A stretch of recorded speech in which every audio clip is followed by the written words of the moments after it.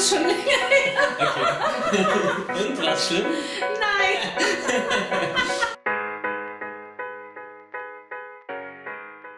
Ausprobieren. Ausprobieren und dann weiß man es. Also es ist auch definitiv eine Bereicherung fürs Leben.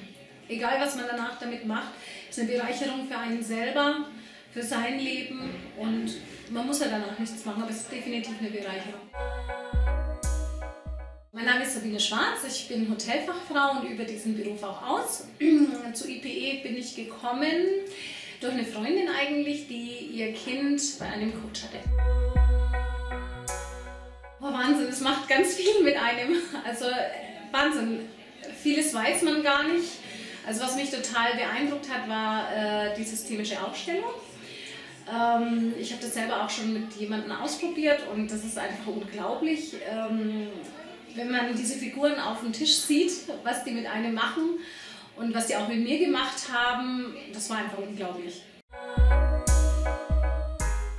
Also es ist unglaublich, die Atmosphäre. Äh, man kommt rein und es ist wie in einer großen Familie einfach. Man fühlt sich geborgen, warm, ähm, warm. Ja, man gehört dazu. Es ist unglaublich. Es ist eine totale Energie im Raum. Also es ist Wahnsinn. Total schön.